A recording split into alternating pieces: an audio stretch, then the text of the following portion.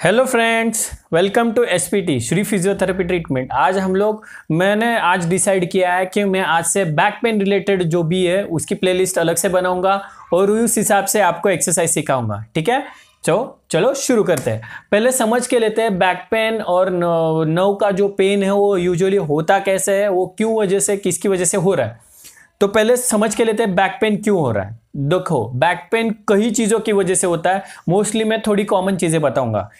एक पहला जो रीज़न है वो मस्कुलर एक्स्ट्रा लोड जिसकी वजह से आपके बॉडी पे जो लोड आ रहा है, उसकी वजह से मसल्स पे स्ट्रेन ज़्यादा, तकलीफ़ ज़्यादा बढ़ रही है तो उसकी वजह से आपको पेन हो सकता है। सेकेंड न्यूरोलॉजिकल पेन मतलब नस की वजह से जो भी नस दब रही है, नस खिंच रही है, उसकी वजह से पेन हो सकता है। थर्ड पेन है स्पाइनल प्रॉब्लम जो भी स्पाइन में फैसेट में घिस रहा है स्पाइन में जो भी तकलीफ़ हो रही है वर्टिब्राज में जो भी प्रॉब्लम हो रहा है, उसकी वजह से हो सकता है।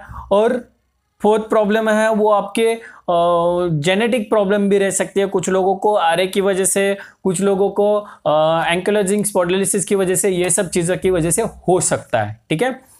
अभी हमने जान लिया बैक पेन क्या, क्यों, किस चीज़ से होता है। तो अब बेसिकली अब जान लेते हैं कि बैक में डिस्क प्रोलैप्स क्यों होता है? ठीक है?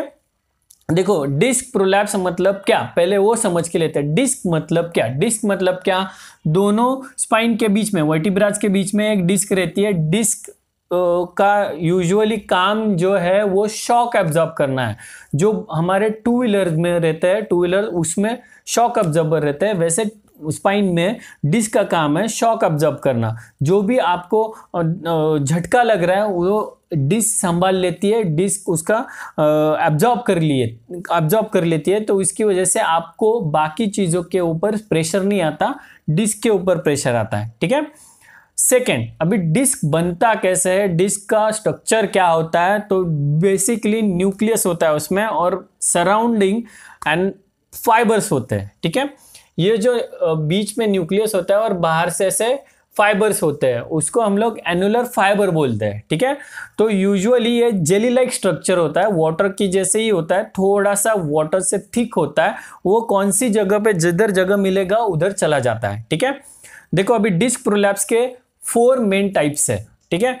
डिस्क कैसे प्रोलैप्स होती है? पहले जो होता है, वो एनुलर टीयर होता है। एनुलर टीयर मतलब क्या? जो मैंने बोला था अभी, जो डिस्क के रिलेटेड कवरिंग होता है, वो फट जाता है उसको बोलते हैं एनुलर टीयर ठीक है? वो फाइबर्स फट जाता है, उसकी वजह से एनुलर टीयर होता है, ठीक है? सेकेंड सेकेंडरी जो होता है, वो प्रोट्रूजन होता है। प्रोट्रूजन मतलब क्या है? डिस्क का एनुलर फाइबर फट के बाहर चला जाता है, उसको बोलते हैं प्रोट्रूजन थर्ड वाला हम लोग उसको नाम ये सेकेंड वाले को ही हम लोग डिस्क प्रोलास बोल सकते हैं, ठीक है?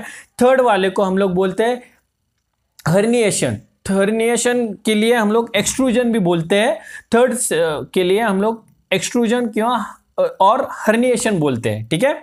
फोर्थ में क्या होता है? सिक्वेस्टरम सिक्वेस्टरम मतलब ये पूरा फटके बाहर चला जाता है और डिस्क बाहर निकल के नव को प्रेस करके कभी कभी आपके वो एरिया की पावर भी चली जाती है। अभी ये चार एरिया में से तीन एरिया तीन जो टाइप से वो ठीक हो सकते हैं। फोर्थ वाला टाइप कभी ठीक हो सकता है, कभी हो भी नहीं पाता। उसके लिए हमें ऑपरेट करना पड़ता है। तीन टाइप में जो भी मैंने बताया, वो टाइप में आप ठीक हो सकते हो। सौ टक्का ठीक हो सकते हो। आप एक्सरसाइज करके ट्रीटमेंट करवा के, वो सब ठीक हो सकता है। ठीक है? अभी ये डिस्क निकलने के बाद क्या करता है? तो बेसिकली जो पीछे वाला नव रहता है, नव कहाँ से निकलती है? ये जो डिस्क है, उसके पीछे में, पीछे आप जो ये होल दिख रहे हो, वहाँ से नव निकलती है। ये देखो यहाँ पे, ठीक है? यहाँ पे नव निकलती है। जो डिस्क प्रोलैप्स होता है यूजुअली देखो डिस्क प्रोलैप्स के भी टाइप्स है। कहाँ पे होता है? तो वो, मैंने बोला कि डिस्क प्रोलैप्स के टाइप से जो मैंने नाम बताए चार नाम बताए, पहले एनुलर टीयर बताया, फिर बाद में प्रोट्रूजन बताया, फिर एक्सट्रूजन बताया, फिर बाद में सिक्वेस्टोरन बताया। ये डिस्क कैसे निकलते हैं उसके टाइप से। अभी डिस्क कहाँ पे जाएगी उसके भी टाइप है। मतलब कहाँ पे कभी कभी वो निकलने के बाद आगे भी जा सकती है, पीछे भी जा सकती है, बीच में भी जा सकती है। तो उस हिसाब से उसको नाम दिए हुए हैं। एंटीरियर पोस्टीरियर और सेंटर ठीक है? एंटीरियर जाने वाला मतलब आगे जाने वाली पोस्टीरियर मतलब पीछे जाने वाली सेंट्रल मतलब साइड में खिसकने वाली, ठीक है? ये यूजुअली इसमें से दो जो है पोस्टीरियर और सेंट्रल वो कॉमन है एंटीरियर बहुत रेयर है, ठीक है? पोस्टीरियर लैटरल पोस्टीरियर सेंट्रल ये आपने कभी कभी एम में पढ़ा रहेगा, उस हिसाब से उसका नाम दिया रहता है, ठीक है? अभी जो डिस्क खिसकेगी, वो मोस्ट कॉमन पोस्टीरियरली खिसकती है, ठीक है? वो खिसकेगी तो पीछे से जो नव निकलती है ये होल में से जो नव निकलती है, उसको प्रेस करती है। प्रेस करेगी तो जहाँ पे भी उसका ट्रैवलिंग है मतलब ये नव कहाँ पे सप्लाई करती है, हमें नहीं पता। यहाँ पे भी सप्लाई कर सकती है, थाई में भी सप्लाई कर सकती है। वो एरिया को वो पेन देने लगती है। उस हिसाब से आपको पेन फील होने लगता है, ये एरिया में, नहीं तो पूरे पैर में, ठीक है? उससे डिसाइड होता है कि आपको कौन सी एरिया की डिस्क प्रोलप्स है। कभी कभी विदाउट एमआरआई भी कुछ लोग बोल देते हैं कि आपकी ये एरिया की डिस्क स्लिप हो चुकी, हो सकती है। वो कैसे?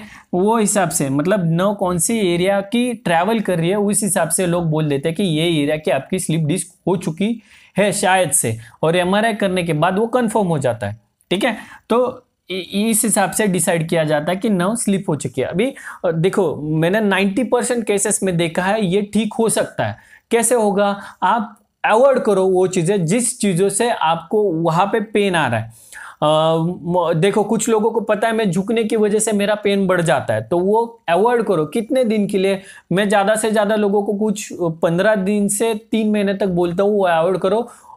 डिस्क पे आने वाला प्रेशर कम हो जाएगा, डिस्क पे प्रेशर कम आया तो वो नौ पे प्रेशर कम डालेगी और पेन कम होगा, ठीक है?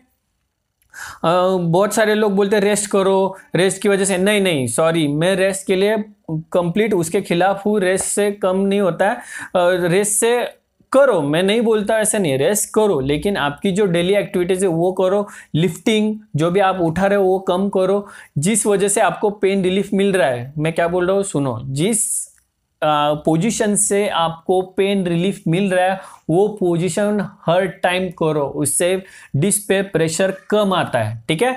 और उसकी वजह से डिस्क पे प्रेशर कम आने की वजह से डिस्क की हीलिंग हो जाती है और जो नव पे वो प्रेशर डाल रही है, वो कम हो जाता है, ठीक है?